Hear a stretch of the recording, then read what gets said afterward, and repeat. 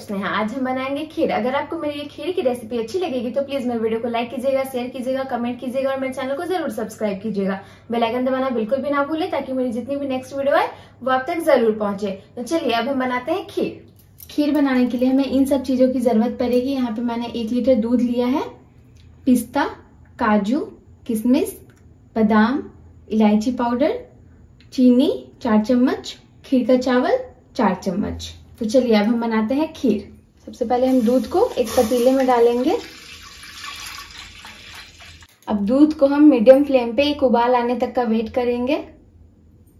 जब तक हमारा दूध उबल रहा है, तब तक हम चावल को धो लेंगे और ड्राई फ्रूट्स को कट कर लेंगे। ये देखिए, चावल मैंने बिल्कुल अच्छे से धो लिया है। अब इसे थोड़ा सा पानी में ऐसे ही पाँच मिनट के लिए छोड़ दे।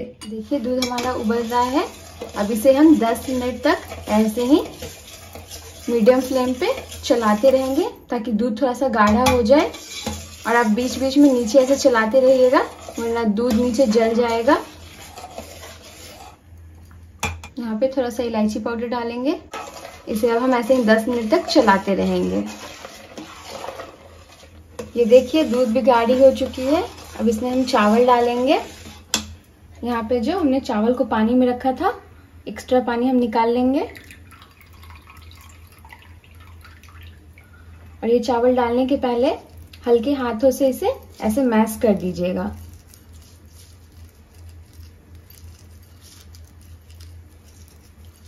ऐसे चावल के दाने टूट जाएँगे तो खीर बहुत अच्छी बनेगी।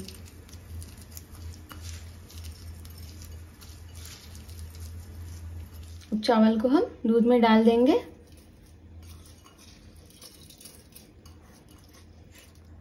चावल डालने के बाद इसे हम मीडियम फ्लेम पे ऐसे ही चलाते रहेंगे। इसे आप बीच बीच में ऐसे ही चलाते रहिएगा, वरना नीचे खीर जल जाएगा। इसे बीच बीच में ऐसे ही हम चलाते रहेंगे। अब इसमें हम ड्राई फ्रूट्स डालेंगे। किशमिश डालेंगे? और काजू। खीर में सिर्फ़ हम किशमिश और काजू ही डालेंगे, और जो हमने बादाम और पिस्ता कट किया है, उसे हम ऊपर से गार्निश करेंगे। ये देखिए, चावल तो हमारा बिल्कुल अच्छे से पक गया है। बस खीर को हम थोड़ा और गाढ़ा होने देंगे, फिर इसमें हम चीनी डालेंगे। ये देखिए, खीर बिल्कुल अच्छे से तैयार है। अब इसमें हम चीनी डालेंगे। मैं चार चम्मच चीनी डाल रही हूँ। अगर आपको ज़्यादा मीठा पसंद हो तो आप अपने टेस्ट के अनुसार ज़्यादा भी डाल सकते हैं। चीनी डालने के बाद इसे हम एक दो मिनट तक ऐसे ही चलाते रहेंगे, फिर फ्लेम को हम बंद कर देंगे। ये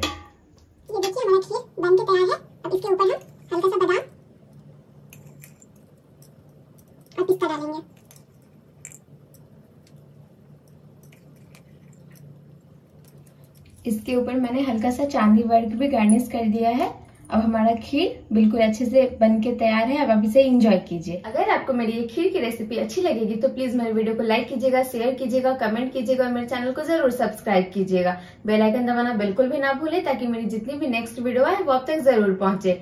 द स्नेहा फैमिली से जुड़ने के लिए आपको बहुत बहुत धन्यवाद। इस फैमिली को ऐसे ही आगे बढ़ाने में आप हमारी मदद कीजिए। आप अपने फ्रेंड्स रिलेटिव्स को ज़्यादा से ज़्यादा मेरी वीडियो को शेयर कीजिए। आज के लिए इतना ही, मिलते हैं नेक्स्ट वीडियो में। बाय